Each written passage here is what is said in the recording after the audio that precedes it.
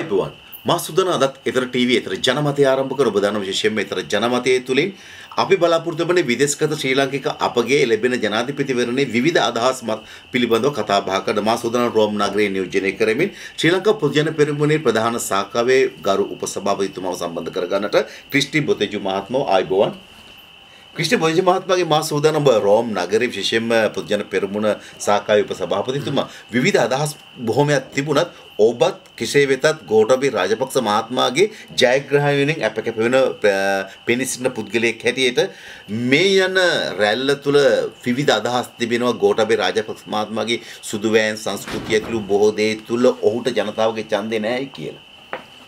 නමුත් නිකුන්ටස් මහත්මයා මගේ අදහසක් තමයි දැන් අපි අවුරුදු ගාණක් මේ රටේ ජීවත් වෙලා අපි අවුරුදු කීපයක් සැරයක් වගේ ලංකාවට යනකොට ඒ දවස්වල යුද්ධ කාලේම අපි නිතර අහපු දෙයක් තමයි මේ යුද්ධ ජය ගන්න බැරි දෙයක්.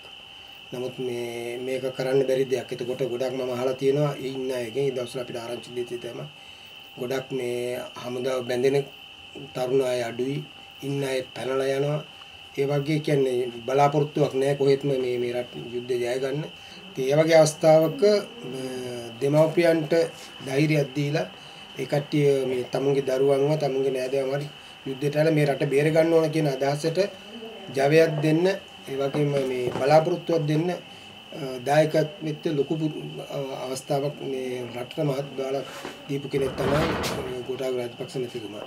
ඒ වගේම ඊට පස්සේ අපි මේ යුද්ධය දිනුවට පස්සේ මේ අපි දැක්ක දේ තමයි සංවර්ධනය අංශෙන් කොළඹද විනත් ප්‍රදේශද හැම අංශෙන්ම එයාගේ තිබිච්ච දායකත්වය එයාගේ දක්ෂකම මුළු රටම දියුණු කරන්නේ. වගේම මේ ගරු ජනාධිපතිතුමාට ශක්තියක් වෙලා අනිත් අයට ආදර්ශයක් වෙලා ඒ වැඩ කරන්න දීපු ඒ ශක්තිය අනුව අපිට මමත පුද්ගලිකව හිතෙනවා අද දකින විදියට ඇත්තෙන්ම ඉදිරියට මේ නායකයෙක් හැටියට. මේ රට දැන් වැටලා තියෙන තත්ත්වය අනුව සමාජයේ ආගම් දෙවේවා මානසික හැමතින්ම වැටලා තියෙන සංස්කෘතිය අතින් වැටලා තියෙන රට ගොඩ ගන්න එකම නායකයා මේ මෙතුමා විතරයි කියන එක. මගේ පුද්ගලික බලාපොරොත්තුවක් ඒක ඒක මම පුද්ගලික බල අද දකින්න දෙයකට වැඩිය පහුගිය කාලේ තිබිච්ච පළපුරුද්ද අනුව විච්ච දේවල් අනුව බලද්දී අපි මෙහින්දලා රටක ඉඳලා ගියාම අවුරුදු දෙක දෙක සැරයක් ගියාම රට දියුණුලා තියෙන හැටි අවුරුදු කීපකින් අපි යාපනයටත් ගිහිල්ලා කොළඹට දැක්කම කොළඹ ලොකු වෙනසක් තිබුණා.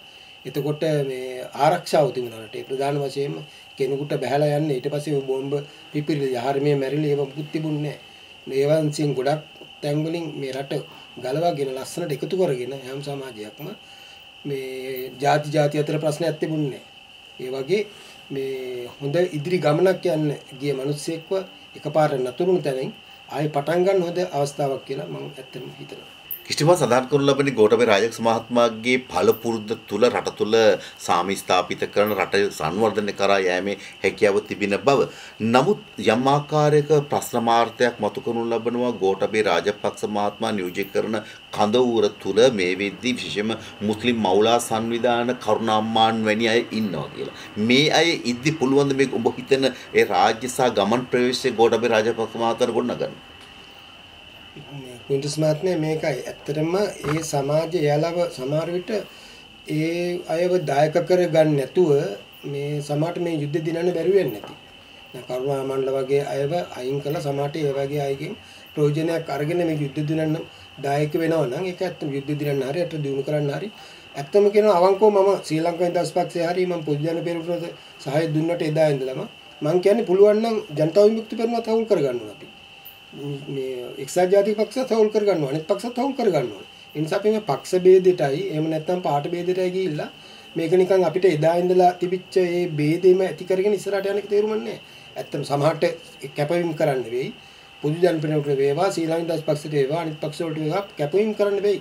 නමුත් මගේ පුදුකාගේ අදහසමයි කවුරු පුළුවන් නම් කට්ටිය මේකතු වෙලා අපි පුළුවන් නම් ඒකම එහෙම ගියොත් මීට වැඩිය මේ රට දිනු කරගන්න. එහෙම නැත්නම් එතකොට සමහරට සුළු මේ ජාතින් වෙන්න පුළුවන්. මුස්ලිම් ජාතිකයෝ වෙන්න පුළුවන්. ඒතර දෙමළ ජාතිකයෝ වෙන්න පුළුවන්. මොකද ඒ අය අතර හොඳ මිනිස්සු හොඳ මේ රටේ ජාතිර ආදරේ එකට ජීවත් වෙන්න කැමති සහජීවන ඉන්න කැමති අය ගොඩක් අය ඉන්නවා. ඒ නිසා ඒ අයත් එක්ක එකතු වෙලා රට ගෙනියන්න පුළුවන් නම් මම හිතන්නේ මීට පස්සේ මේ දේශපාලන බෙදීම් වලින් තොරව රට ඇත්තටම අවංකවම ඉස්සරහට මේ අනාගතයකට හොඳ දියුණුවකට ගෙනියන්න වෙයි පුළුවන් වෙයි කියලා මම හිතනවා. ඒ නිසා ඒ වගේ හලු කරගත්තා කියලා යාළගෙන් මේ රටේ දියුණුවට බාධාවක් වෙලා නැත්නම් ඒකින්ද කවුරුත් ඒක ප්‍රශ්නයක් කරගන්න අවශ්‍ය නැහැ. ඒ කට්ටියගේ අතීතය ගැන කල්පනා කරලා බලලා ඒ වගේ හිතලා මේවා කරන්න ඕනේ. මේ මිනිස්සුත් වෙනස් වෙලා මේ දායක වෙනවනම් රටේ දියුණුවට ඇත්තම මේ මිනිස්සු අවශ්‍යයි. මතන ක්‍රිස්ටි බසජ මහත්මගේ කතාබහ තුළින් උඹට බොහොම පැහැදිලි. අපි එකතු විය යුතු බෙදුන හොඳටම ඇති. අපි දැන් එකතු වෙලා රට සංවර්ධනය රට දියුණු කරන ගමන් ප්‍රවේශයකට ළඟා කරගත යුතු එයයි විය යුත්තේ එහෙමනම් ඔබටත් මේ ජනමතය තුළ විවිධ දේ හිතන්නට අවස්ථාව ළඟා කර දෙමින් අදට මා සූදානම් එතර ටීවී එතර ජනමතේ සමගින යන්න ප්‍රාර්ථනා කරනු ලබනවා. සැමට ජය සතුට. අයිබෝන්.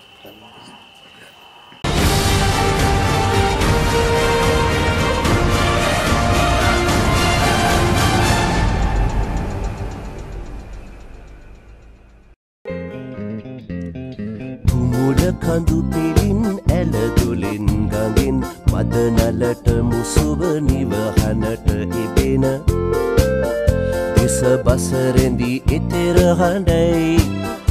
උන නැන හෙල සිරිත කියයි. වින්දනය මතින් ප්‍රඥාව වඩයි. මේ එතෙර හඬයි. මෙත සවන් පිනයි. ඉතෙර ටීවී